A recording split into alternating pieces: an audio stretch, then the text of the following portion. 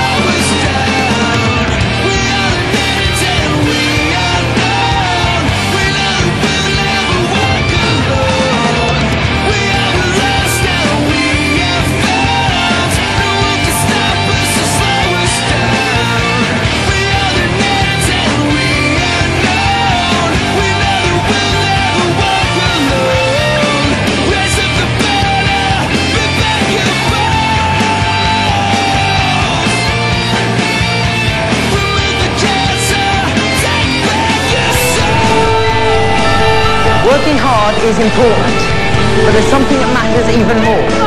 Believing in yourself. Think of it this way. Every great wizard in history has started out as nothing more than what we are now. Students.